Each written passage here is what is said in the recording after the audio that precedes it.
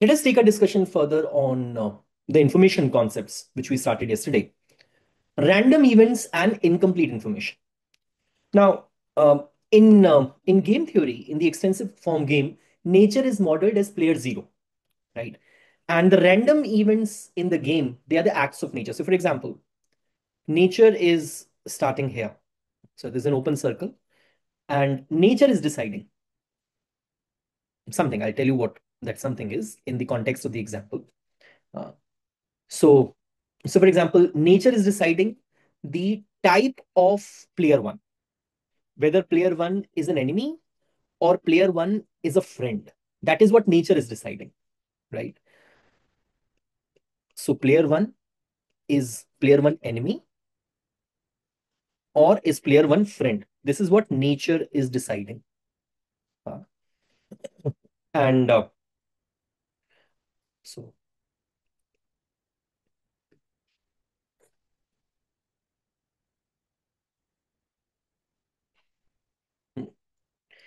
uh, and this decision that whether player one is an enemy or player one is a friend, it is dependent upon some fixed probability distribution. It is not a strategy. Nature is not a strategic player.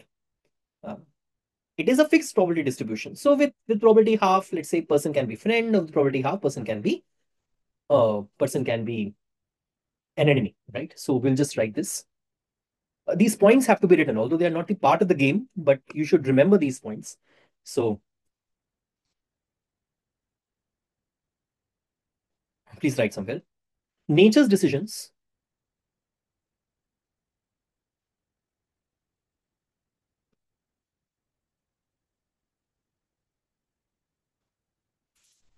follow fixed probability distribution.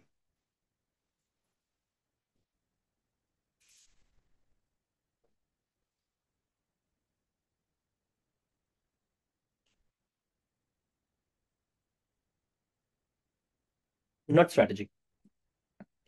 So meaning that nature is non-strategic, right? And the node, this is the node of nature. This is a chance node.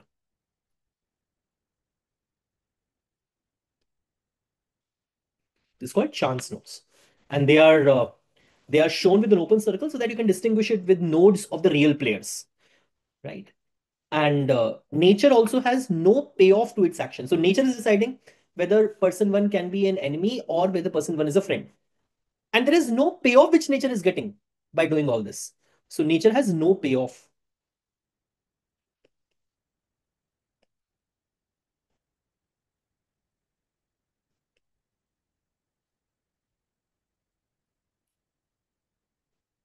Nature has no payoff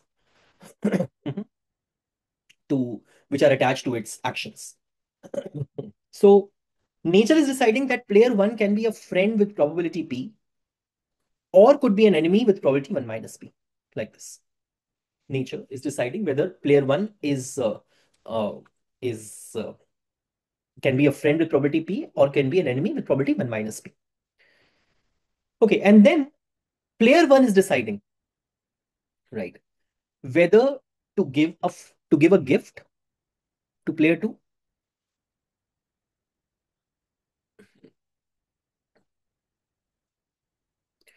or not to give a gift to player 2. Player 1 is deciding now whether to give. So these are the nodes where player 1 is deciding, right? These one. So note that these are not the open circles. Or uh, player 1 is deciding whether to give gift as an enemy to nature to player 2 or not to give gift to player 2 as an enemy. Right. Well, if uh, if player 1 has not gifted anything to player 2, then the game ends here. Neither player 1 gets any payoff nor player 2 gets any payoff. Uh, similarly here, if player 1 is an enemy of player 2 and he has not gifted anything to player 2, neither player one, uh, neither player one is getting any payoff and player two is getting any payoff. And you might be thinking that if he's an enemy, why is, why is he gifting? To insult him. Sometimes when uh, you think it like this. Suppose you guys are player one and I'm player two. If you give me a very pleasing gift, it is helping. I mean, it is it is giving me happiness.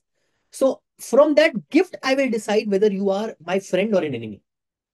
But if you give some gift to make a mockery of me, to insult me, then I will understand that he has gifted me not as a friend but as an enemy. So that is the thing. But if you, even if you if I'm if you are my enemy and you have not gifted anything to me, it is not going to give any payoff to you, not to not to me. So here play here, your game is ending. So by convention, the first payoff is of player one and second payoff is of player two. Fair enough. Okay. Player two comes. Player two has two choices. Player two has two choices. Whether to accept this thing or or not to accept it.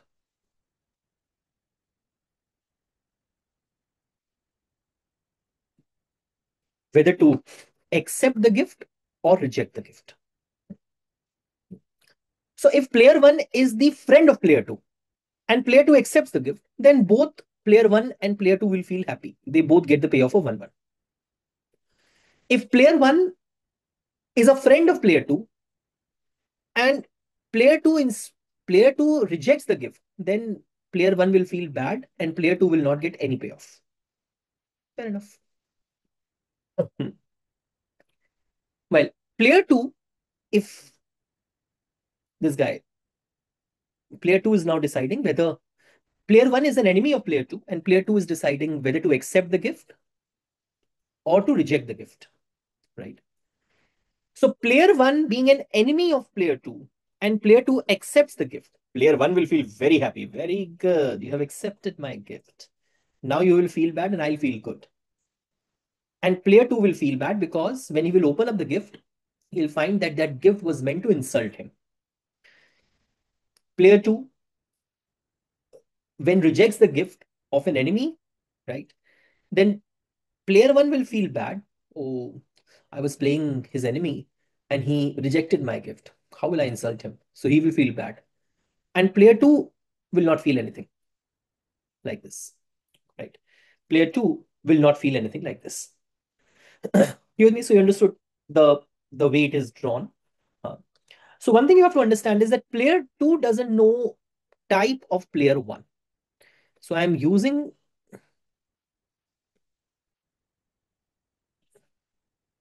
So these dotted lines between the information sets of player 2, this is telling you that player 2 doesn't know whether player 1 is an enemy or not, is an enemy or a friend. Player 2 doesn't know.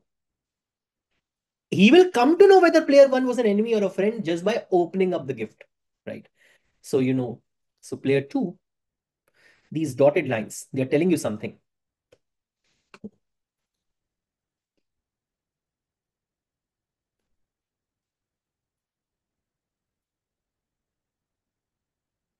Player 2 doesn't know.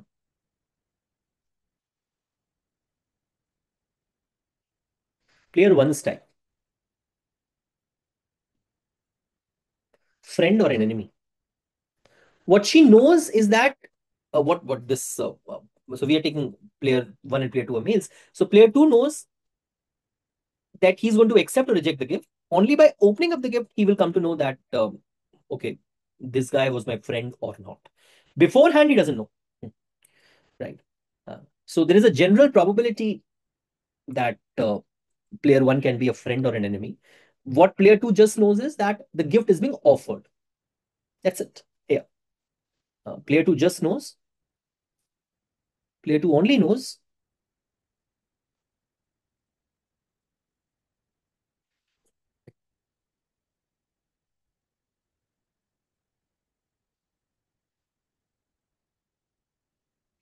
whether a gift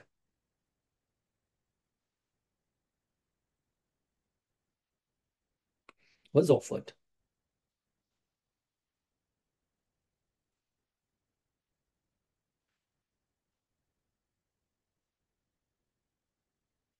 And the general probability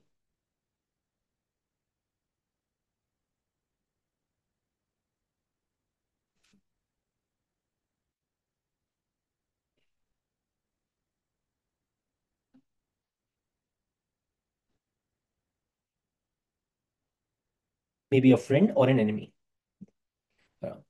So you can see now when player 2 doesn't know everything about player 1. So this, this game is representing incomplete information.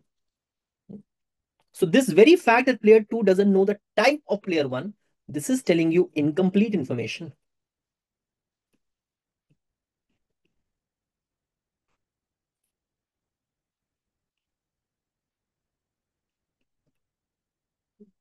This telling you player uh, this telling you that there is incomplete information as player 2 is lacking uh, this thing. Uh, player 1 has a private information. Player 1 has a private information that player 1 knows whether player 1 is a friend or an enemy.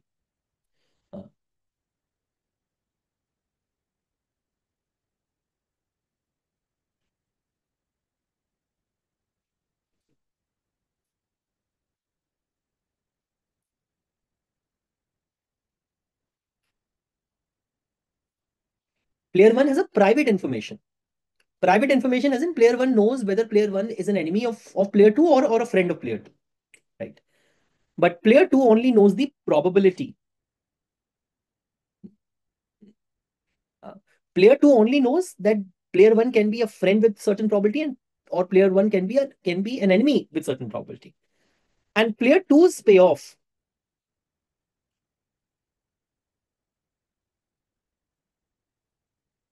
depends on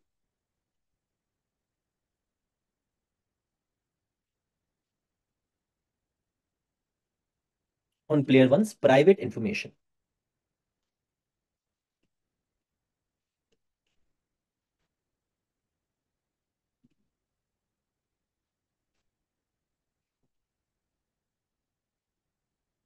And not just his choice.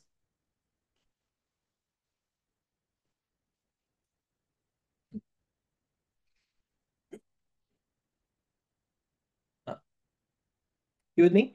So this is just the basic structure of the game. Now, how do you solve this game? Right. So uh, we'll talk about the beliefs of the players, uh, about the types being observed or not. So that I'm going to take up in the next class. So it is just telling you how the game is structured. So we'll try to solve this game and we will take up uh, uh, Bayesian reasoning, how to solve this game. So uh, that I'll take up in the next class. So I hope it was useful to you. Thank you, Vita.